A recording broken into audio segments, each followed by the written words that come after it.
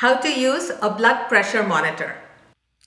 Ensure you have the following items before you start.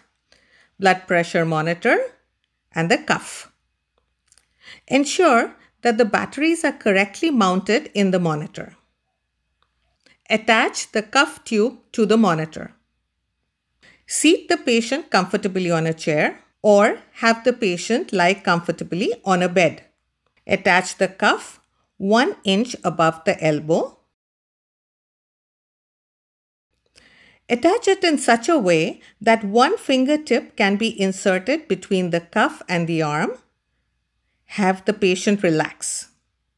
Now, press the start button on the monitor.